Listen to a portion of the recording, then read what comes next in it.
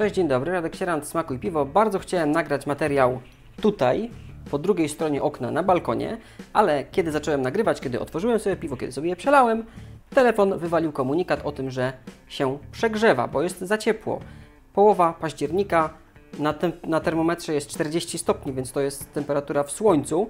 Natomiast, no cóż, musiałem wrócić tutaj i z piwem otwartym nagrać od nowa. Golden Lake, Złote Jezioro, browar The Garage Monks, ale nie tylko, ponieważ jest to piwo uważane w kooperacji z browarem Dziki Wschód, który tą samą warkę tego samego piwa pod swoją etykietą wypuścił jako własne piwo. To jest taka kooperacja, wiecie, gdzie wychodzą dwa piwa dokładnie takie same. Mamy Golden Lake, a w Dzikim Wschodzie jest to Złote Jezioro, czyli w sumie można sobie to jakoś tam połączyć razem. Do tego jeszcze kooperacja z Polish Hops, czyli same polskie chmiele. Czytamy sobie opis tego piwa.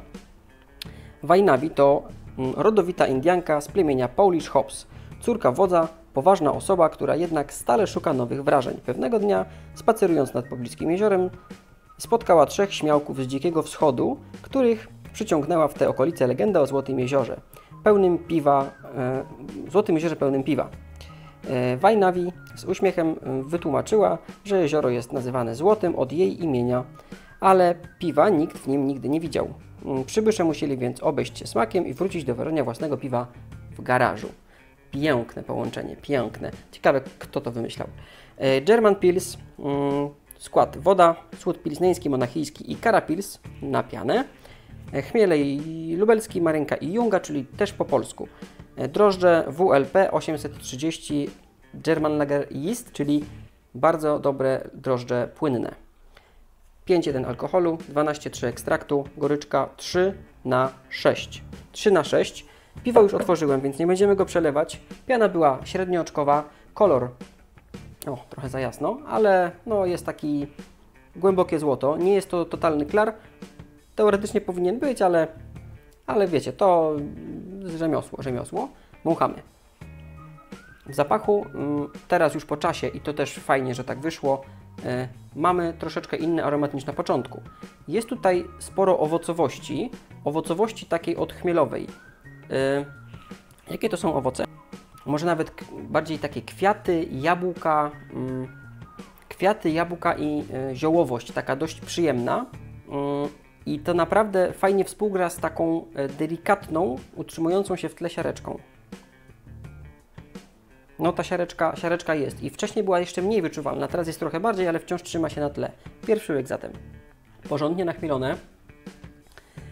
Tutaj siareczki już tak bardzo nie czuć. Smakuje to dobrze. W zasadzie jest to chmielowy smak, porządnie chmielowy smak, z podbudową taką chlebowo-ciasteczkową, ale bardzo nienachalną, może wręcz za niską troszeczkę. On jest dość czysty w profilu. Natomiast za mało jest tutaj tej, tej takiej chmielowości, takiej słodowości, wiecie, takiej y, ciasteczkowej, takiej, mm, takiej podbudowy, wiecie, bardziej solidnej ze słodu. Tutaj jest bardzo dużo chmielu i to mam wrażenie, że jest wręcz troszeczkę przechmielony pils. Coś jak mieliśmy w Depilsie z Pinty jakiś czas temu.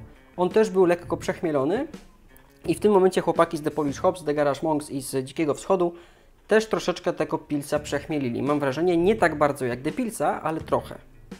Ale drożdże zrobiły bardzo dobrą robotę. Czuć, że to jest lager. Mm. Jest taka to jest czysty profil z delikatną nutką takich owoców gdzieś tam w tle, ale to nie jest oddrożdżowa owocowość, tylko właśnie odchmielowa. To się fajnie uzupełnia, taka czysty profil drożdżowy, trochę za mało słodowości, ale też fajne nuty odchmielowe. Trochę za mocne, ale fajne. Trochę się już, y, że tak powiem, zestresowałem tym, że telefon mi się zaczął przegrzewać. I trochę mi, mm, że tutaj mm, powiem, y, język, język nie do końca mi służy w tym momencie już. Y, Mam nadzieję, że nic się złego nie, nie, nie stanie i że to dalej będzie nagrywało. To tyle ode mnie. Do zobaczenia. Cześć.